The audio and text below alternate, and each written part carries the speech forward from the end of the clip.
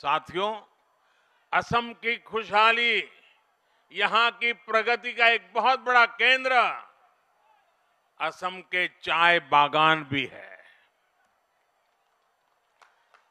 सोनितपुर की लाल चाय तो वैसे भी अपने अलग फ्लेवर के लिए जानी जाती है। सोनितपुर और असम की चाय का स्वाद कितना खास होता है, ये मुझसे बेहतर भला कौन जानेगा?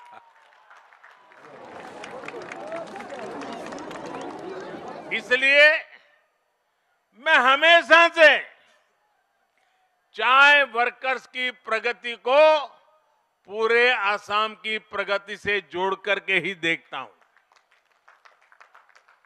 मुझे खुशी है कि इस दिशा में असम सरकार कई सकारात्मक प्रयास कर रही है।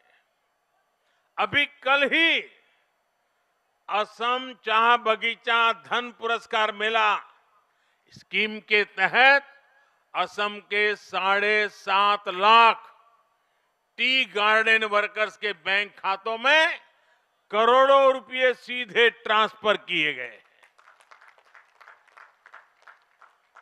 टी गार्डन्स में काम करने वाली गर्भवती महिलाओं को एक विशेष योजना के तहत सीधे मदद दी जा रही है।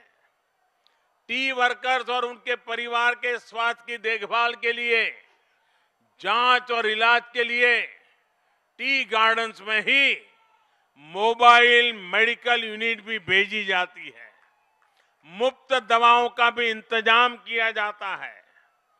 असम सरकार के इन्हीं प्रयासों से जुड़कर इस बार देश के बजट में भी चाय बागान में काम करने वाले हमारे भाइयों और बहनों के लिए एक हज़ार करोड़ रुपए की विशेष योजना की घोषणा की गई।